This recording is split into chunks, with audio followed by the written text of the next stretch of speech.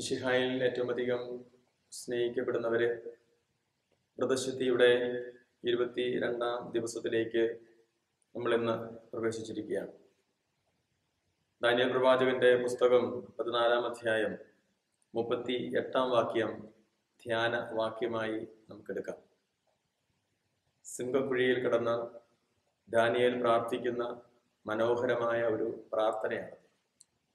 ദൈവമേ അങ്ങ് എന്നെ ഓർമ്മിച്ചിരിക്കുന്നു. അങ്ങയെ സ്നേഹിക്കുന്നവരെ അങ്ങ് ഒരിക്കലും ഉപേക്ഷിക്കുകയില്ല. ദൈവമേ അങ്ങ് എന്നെ ഓർമ്മിച്ചിരിക്കുന്നു. അങ്ങയെ സ്നേഹിക്കുന്നവരെ അങ്ങ് ഒരിക്കലും ഉപേക്ഷിക്കുകയില്ല.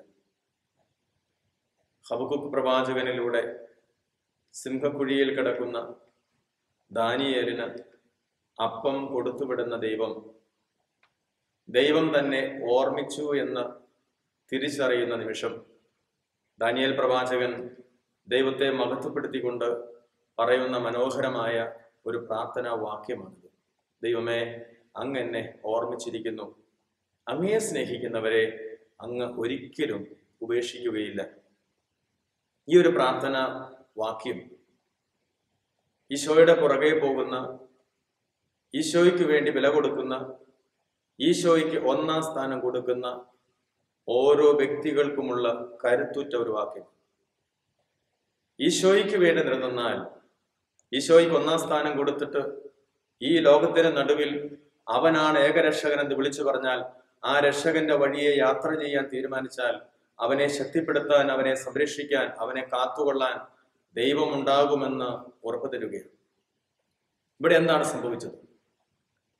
ദാനിയ പ്രവാചകന്റെ കാലഘട്ടത്തിൽ ബേൽ പ്രതിമയ്ക്കെതിരെ ബേൽ പ്രതിമയിൽ താൻ ആരാധന നടത്തില്ല എന്ന് ശക്തിയുക്തം വിളിച്ചു പറഞ്ഞിട്ട് ഏകരക്ഷകൻ ദൈവമാണെന്ന് വിളിച്ചു പറഞ്ഞിട്ട് ദൈവത്തിന്റെ മഹത്വം ഇറക്കി ആ ജനത്തെ മുഴുവൻ നശിപ്പിക്കാൻ തയ്യാറാകുമ്പോൾ അസൂയ പൂണ്ട ജനം അവനെ സിംഹക്കുഴിയിലേക്ക് രാജാവിന്റെ കൽപ്പനയോടുകൂടി എടുത്തെറിയുന്ന രംഗം നമ്മൾ കാണുന്നു. അതോടൊപ്പം തന്നെ ജീവിയായ വ്യാളത്തെ നശിപ്പിക്കുന്ന ദാനിയേലിനെ നമ്മൾ കാണുന്നുണ്ട്.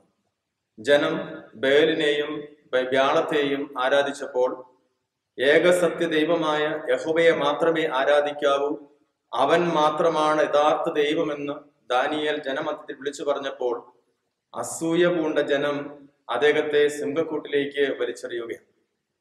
തിരുവചന പ്രകാരമാണ് പറയുന്നത് ഒരു ദിവസം രണ്ട് മനുഷ്യ ശരീരവും രണ്ട് ആടുകൾ എന്ന തലത്തിൽ സിംഹങ്ങൾ കൊടുത്തുകൊണ്ടിരുന്നു സിംഹക്കൂട്ടിലുള്ളതിന് എന്നാൽ ഈ പറയുന്ന ദാനിയലിനെ സിംഹക്കുഴിയിലേക്ക് വലിച്ചെറിയുന്ന സമയത്ത് ഈ സിംഹങ്ങൾക്ക് ഒരു തീറ്റ പോലും കൊടുത്തിരുന്നില്ല. എന്ന് പറഞ്ഞാൽ അത്രത്തോളം കാഠിന്യമാണ് ഈ പറയുന്ന ദാനിയലിന്റെ കാര്യത്തിൽ ജനം കാണിച്ചത്. എന്ന് പറഞ്ഞാൽ അവനോട് അത്രമാത്രം അസൂയയുള്ള ഒരു ജനം. അതായത് ഈ ദാനിയലിനെ സിംഹക്കുഴിയിലേക്ക് വലിച്ചെറിയുന്ന അതേ ക്ഷണത്തിൽ തന്നെ ഈ സിംഹങ്ങൾ ആഹാരത്തിന് വേണ്ടി കേഴുന്ന സിംഹങ്ങൾ അടിച്ച് വീഴിച്ച് തീർക്കണമെന്ന് ആഗ്രഹിച്ച ഒരു പക്ഷേ സംഭവം നമ്മൾ കാണുന്നുണ്ട് ഈ ദാനിയേലിനെ ഏഴ് ദിവസം ഭക്ഷണമില്ലാതെ കടന്നിരുന്ന സിംഹങ്ങൾ സിംഹക്കൂടിലേക്ക് ദാനിയേൽ വന്നു കഴിഞ്ഞപ്പോൾ അവനെ തൊടുന്നു പോലുമില്ല. എന്ന് പറഞ്ഞാൽ ഈ സിംഹങ്ങളുടെ നടുവിലും തനിക്ക് വേണ്ടി നിലകൊണ്ടവനെ സംരക്ഷിക്കാൻ ദൈവം തയ്യാറായി എന്നുള്ളതാണ് ഇവിടെ നമുക്ക് നൽകുന്ന സന്ദേശം. വലിയ പ്രശ്നങ്ങളുടെ നടുവിൽ വലിയ സഹനങ്ങളുടെ നടുവിൽ യേശുവിന് വേണ്ടി അവന്റെ മഹത്വത്തിന് വേണ്ടി ഞാനും നിങ്ങളും നിലനിന്നു കഴിഞ്ഞാൽ നമ്മെ തൊടാനോ നമ്മെ നശിപ്പിക്കാനോ ആരെയും അവൻ അനുവദിക്കില്ല എന്ന് വചനം കൃത്യമായി നമ്മെ പഠിപ്പിക്കുക. വയലിലേക്ക് പോകുന്ന ഹബുക്ക് പ്രവാചകന്റെ അടുക്കിലേക്ക് ദൈവം വന്നിട്ട് പറഞ്ഞു നീ ഇപ്പോൾ ദാനിയേൽ എന്ന് പറയുന്ന സിംഹക്കുഴിയിൽ കിടക്കുന്നവനെ കൊണ്ടുപോയി ഈ അപ്പക്കഷ്ണങ്ങൾ കൊടുക്കണം. ഖബുക്കുക്ക് പറയുകയാണ് ഞാൻ എങ്ങനെയാ പോണത്? അവനെ തലമ്പടി കുത്തിന് പിടിച്ച് ഈ പറയുന്ന സിംഹക്കുഴിയിലേക്ക് കൊണ്ടുപോയി ഇടുന്ന ദൈവത്തെ നമ്മൾ കാണുന്നു. അതേ പ്രിയമുള്ളവരെ നോമ്പിന്റെ ഇരുപത്തിരണ്ടാം ദിനത്തിലൂടെ കടന്നു പോകുമ്പോൾ നമുക്ക് എടുക്കേണ്ട ഒരു തീരുമാനം തിരിച്ചു വരേണ്ട ഒരു തീരുമാനം നമുക്ക് എടുക്കാൻ പറ്റും. എന്ന് പറഞ്ഞാൽ എന്റെ ദൈവത്തിന് ഒന്നാം സ്ഥാനം കൊടുത്ത് ജീവൻ കൊടുത്തു പോലും അവന് വേണ്ടി ഞാൻ നിലകൊള്ളും. ഈ ജനമധ്യത്തിൽ യഹോവയായ ദൈവമാണ് യഥാർത്ഥ ദൈവമെന്ന് ഞാൻ വിളിച്ചു പറയും. അത് എന്റെ ഇടവക സമൂഹത്തിലും എന്റെ കുടുംബത്തിലും ഞാൻ ഉൾപ്പെടുന്ന സമൂഹത്തിലും ഞാൻ ജോലി എടുക്കുന്ന ഇടങ്ങളിലും യേശുവിന് വേണ്ടി നിലകൊള്ളും എന്ന തീരുമാനം നമുക്ക് എടുക്കാൻ പറ്റിയാൽ യേശു എപ്പോഴും നമ്മെ സംരക്ഷിച്ചുകൊള്ളും നമ്മെ കാത്തുകൊള്ളും.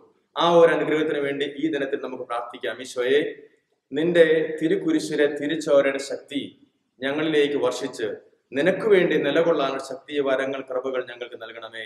ആമേ